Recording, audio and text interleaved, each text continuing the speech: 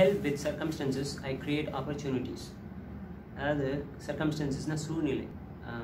ஒரு கெட்ட சூழ்நிலையை நிலவும் போது கூட அதில் வந்து நான் ஒரு வாய்ப்பு பயன்படுத்திப்பேன் வாய்ப்பை உருவாக்கிக்குவேன் அப்படின்னு அர்த்தம். ஃபார் எக்ஸாம்பிள் இப்போ வந்து நம்ம எல்லாம் இப்போ கொரோனா வைரஸோட இதில் அவுட் பிரேக்கில் வந்து இல்லை லாக்டவுன் ஆகி வீட்டில் இருக்கோம் இல்லையா? ஸோ இது வந்து ஒரு சுச்சுவேஷன் ஓகே சர்க்கம்ஸ்டன்ஸ் ஸோ இந்த மாதிரி சூழ்நிலையில் இந்த டைமை நம்ம எப்படி யூஸ் பண்ணிக்கிறோம்? இதை ஒரு வாய்ப்பாக யூஸ் பண்ணிக்கிட்டு எதாவது பண்ண முடியுமா? அப்படின்னு பார்க்கலாம். இப்போ நான் யூடியூப் சேனல் யூடியூப் போட்டுட்ருக்கேன். இப்போ வீடியோஸ் போடுறேன்னு வச்சுக்கோங்களேன். அது கூட ஒரு வாய்ப்பாக பயன்படுத்திக்கிட்டு தான்.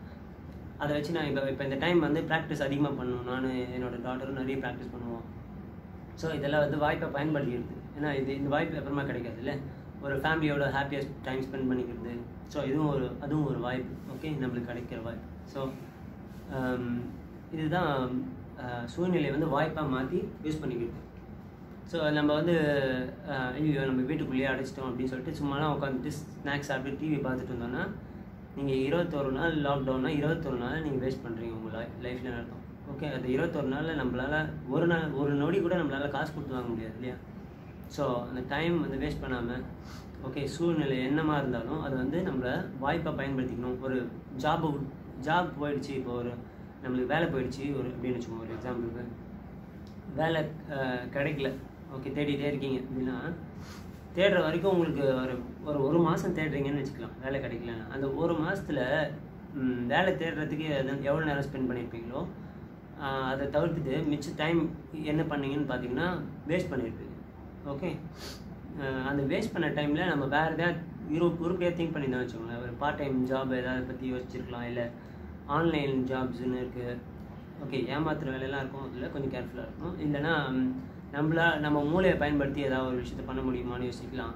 ஓகே ஸோ அந்த ஒரு மாதம் நீங்கள் வேலை கிடைக்காம இருக்கிற ஒரு மாதம் வந்து உங்களுக்கு கிடைச்ச ஒரு வாய்ப்பு.